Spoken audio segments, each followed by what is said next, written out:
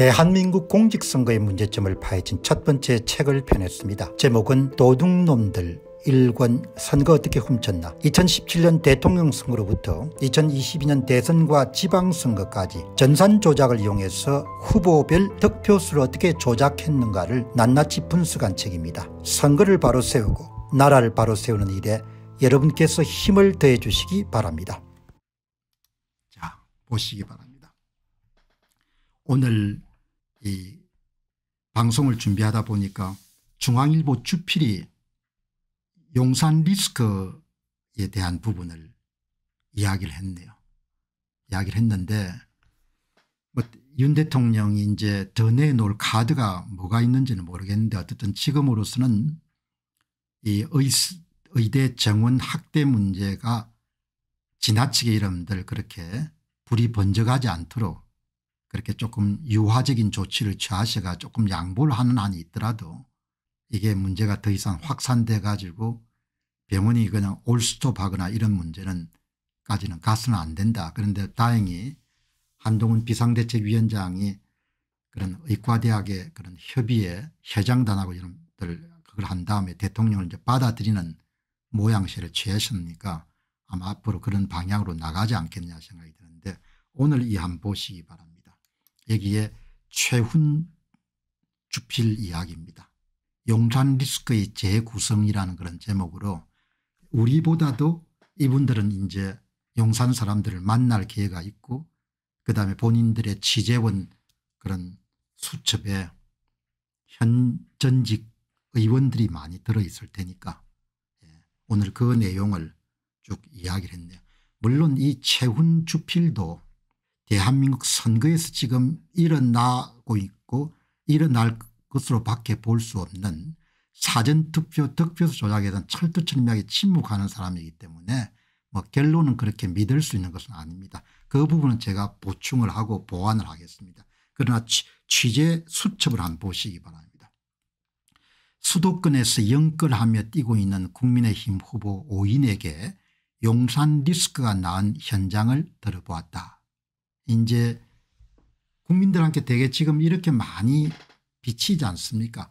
초창기에 의과대학 정원을 확대하는 그런 부분들은 열화 같은 그런 성원을 받았지만 사람들이 점점 사실을 알아가면서 용산 대통령실이 지나치게 강경책을 사용하고 있다. 이런 부분에 대한 반감이 시간이 가면서 많이 생겨난 거 아닙니까 여기 보시면 다녀보면 은 매일 친명 행제다 뭐다 이재명 욕은 다 하면서 자기들은 왜 이리 마음대로 하나라는 얘기입니다. 그럼 그 이야기가 나오는 거죠. 사람 마음은 다 비슷하기 때문에 예.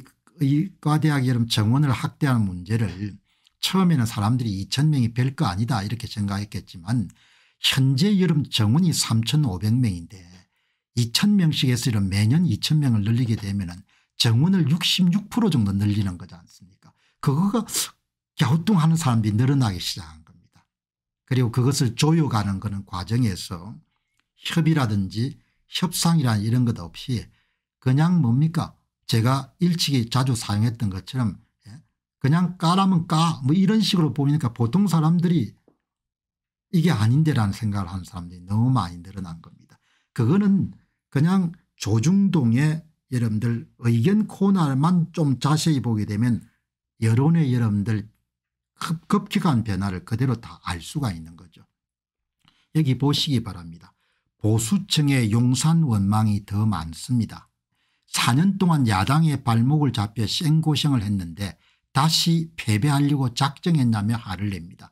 왜 하필 이때 굳이 이거냐며 절박한 분노를 드러내고 있습니다. 보수층이 윤 대통령을 원망을 많이 안 하겠습니까? 여론조사를 보게 되면 보수층 가운데서 최소 여러분들 5 60% 정도는 선거 문제를 인식하고 있을 겁니다. 그런 여론조사들이 중간중간 나왔지 않습니까? 여러분들 오늘 본 SBS의 여러분들 그 선거를 다룬 기자도 그게 여론조사지 않습니까? 315개의 댓글이 나왔고 그 댓글의 거의 전부가 뭐죠 예, 적당한 어중간한 그런 포지션을 취하는 기자를 나무라는 이야기지 않습니까 그리고 그 댓글 하나하나가 몇십 명씩 여러분들 좋아요가 붙는 겁니다. 아니요는 거의 없는 겁니다. 대통령께서도 무슨 뭐 나름대로 고민이 있었겠지만 선거에서 기울어진 운동장을 바로잡는 것은 고민이고 뭐고 필요가 없는 과제지 않습니까 그거는 엄청난 악이니까 공화국을 무너뜨리는 그런 최악의 참사가 여러분들 선거 사기지 않습니까? 그거가 무슨 이유로 뭡니까? 대통령의 침묵을 그것이 정당화될 수 있겠습니까? 특수통 검사들은 여러분들 그냥 없는 제도 때리 만들고 있는 죄는 그냥 깔아뭉개고 그런데 익숙한지 모르겠지만 보통 시민들은 그렇게 할수 없는 겁니다. 나라가 잘못하면 그냥 골로 갈 수 있다고 이런 사람들이 생각하는 그 주제에 대통령이 2년 동안 보통 사람으로 상상할 수 없을 정도의 침묵을 지키는 걸 보고 많은 사람들이 어떻게 생각하겠습니까? 아 저 양반이 이야기하는 자유란 것은 허당이구나. 저 양반이 이야기하는 정의란 것은 완전히 내가 볼 땐 쓰레기통에 쳐넣은 거구나. 이렇게 생각하는 사람들이 많지 않겠습니까? 사람들 마음이랑 다 비슷한 겁니다. 그걸 어디에서 확인할 수 있느냐? 예, 오늘 제가 실방송 시작하며 초조에 생각한 sbs가 방송이 어제 다룬 내용에 315개 이런 댓글을 읽어보게 되면 의외로 많이 젊은 분들이 그런 의견을 남긴 겁니다. 그런데 이번에 이런 선거 한번 크게 패배한다고 생각해 보시기 바랍니다. 원성이 어디로 향하겠습니까 끝까지 못 숨깁니다. 대한민국의 선거 사기 문제는 끝까지 숨길 수는 없는 겁니다. 마지막까지는. 예. 그리고 그것을 숨기는 데 대통령께서 적극적인 역할을 하고 있다는 것을 사람들이 인식할 겁니다. 그러면 그 사람들이 얼마나 기분이 안 좋겠습니까 예 보시기 바랍니다. 그래서 대통령이 취임 첫 일성의 자유에 대한 찬양이었습니다. 그 자유의 가장 중요한 것이 국민들 개개인의 손으로 권력자에게 정당성을 부여하는 투표인 겁니다. 그래서 사람들이 묻지 않게 당신이 이야기한 자유는 뭐고 개 키우는 자유가 이렇게 사람들이 이야기할 겁니다. 저는 그냥 불을 보듯이 앞으로 가는 길이 그냥 확연하게 보이는 겁니다. 보수층의 용산 원망이 더 많다는 거 아닙니까 취재 수첩을 이야기한 거가 그냥 이거는 여러분들 곡해 안 했을 겁니다. 이 보시기 바랍니다. 가장 큰 걱정은 이재명 사천 파동에 가라앉던 정권 심판론이 되살아나는 분위기입니다. 선거가 기시의 바람 아닙니까 용산이 매사 독선적으로만 각인되기 때문에 과거 조국 수사도 무리 아니냐는 의심으로 뒤바뀌게 됩니다. 조국당 지지율 좀 보시기 바랍니다. 이렇게 이야기가 나오는 겁니다. 윤 대통령은 저하고 이런 동년배 사람이기 때문에 그 동년배 사람들은 어, 아주 큰 그 노력을 하지 않으면은 그냥 조금 경직되게 보이지 않습니까 그 연배 사람들이 제 자신도 물론이고 그 경직된 모습들이 보이지 않도록 무척 노력을 해야 되는 거죠. 예. 본인이 유연하다는 것을 그렇게 보여주기 위해서 저야 여러분들 크게 대중들을 의식할 필요가 없지만 대통령은 더더욱 그런 입장이지 않습니까 제 연배 사람들 그냥 가만히 있어도 컴퓨터에 디폴트란 용어를 쓰지 않습니까 그냥 특별하게 무슨 값을 입력하지 않더라도 그냥 주어진 값 자체가 조금 경직되고 엄한 분위기지 않습니까? 예, 그냥 표정도 그렇고. 예, 그럼 지금 여러분들 대통령이 나오셔가지고 민생을 뭘 하거나 하실 때 그게 보통 60대 초반 남자 모습인 겁니다. 좀 이렇게 경직돼 있는 모습이지 않습니까? 그 여기 정확한 거 지적하지 않습니까? 남의 말을 잘 안 듣는다는 윤 대통령에게 이런 이야기가 나오지 않습니까 이거 의로 대란 기류도 참 모해집니다. 자꾸 불통용산 이미지다 보니까 2천명 정원도 일방적으로 밀어붙이기 않냐는 심리적 요동이 느껴집니다. 이렇게 생각하거든요. 처음에 박수를 보냈지만. 아니 2천명이 저렇게 말라고 그냥 정치 생명을 걸 정도로 저렇게 이름 선거 이전에 그렇게 뭔가 밀어붙일 필요 없다고 생각하는 겁니다. 예, 이렇게 여러분들 정리가 되는 거죠.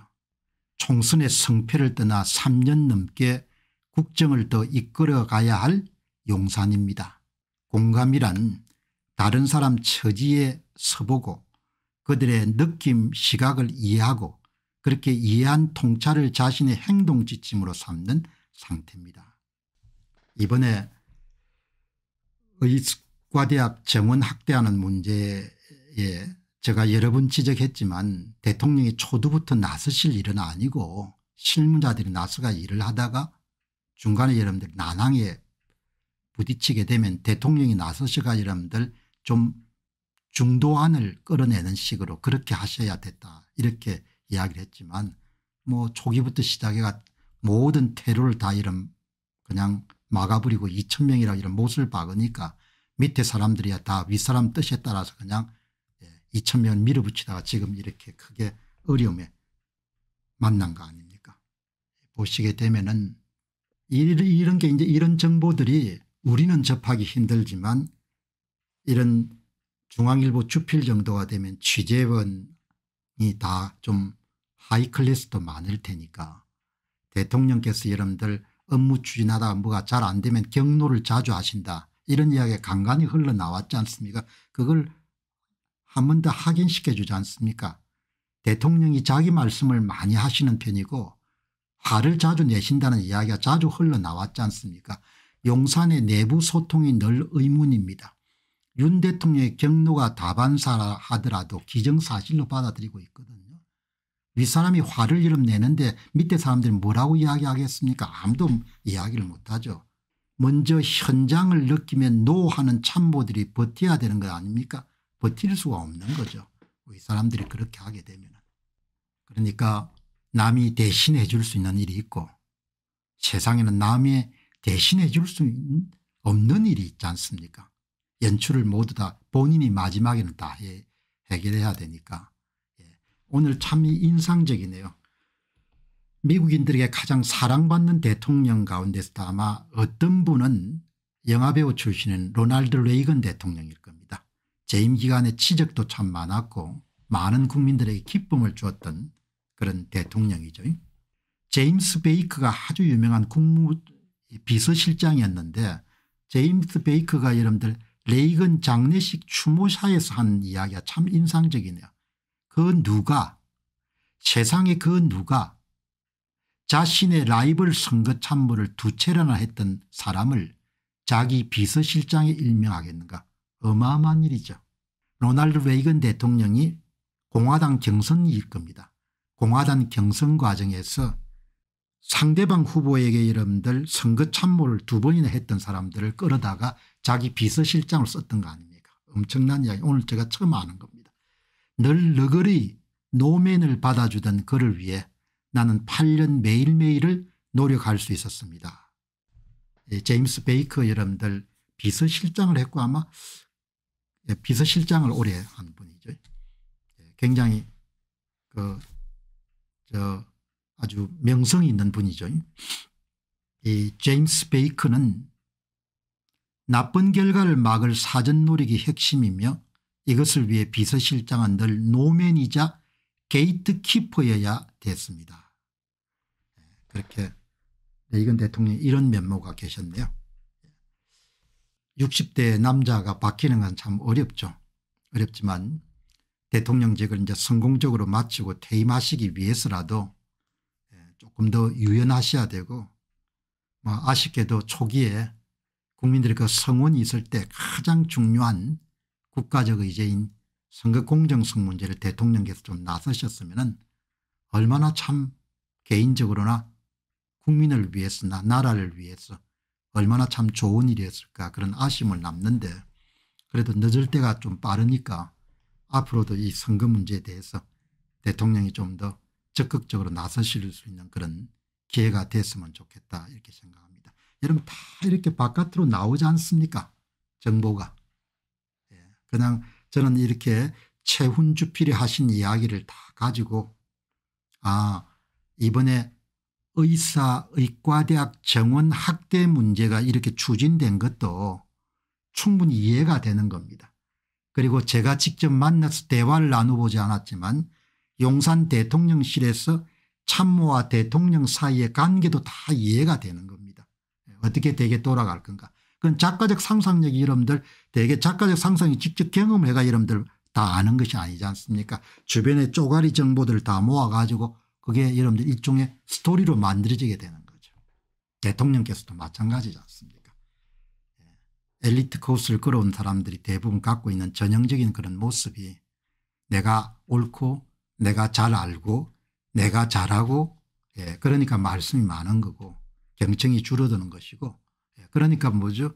예, 엑스포도 그렇고 모든 의제에 뭡니까? 본인이 앞장서니까 결국은 참모들이 참모들이 안 보이지 않습니까 참모들이 참모들이 전혀 안 보이지 않습니까 예, 역대 아마 정권 가운데서 장관 이름이 이렇게 기억이 안 나는 데가 유명무실한 경우가 없을 겁니다. 그 장관들이 앞서 나가는 걸 별로 좋아하지 않는 것 같다는 생각이 드는. 2022년도 대통령 선거의 실상을 파헤친 도둑놈들 2권 2022년 대선 어떻게 훔쳤나 그리고 도둑놈들 3권 2022년 대선 무슨 짓을 했나를 출판하게 되었습니다. 공직선거를 해부하는 도둑놈들 시리즈가 계속 나올 수 있도록 여러분께서 구매해 주시고 주변에 널리 알려주시기 바랍니다. 선거를 바로 세우고 나라를 바로 세우는 일에 여러분께서 힘을 대해 주시기 바랍니다. 감사합니다.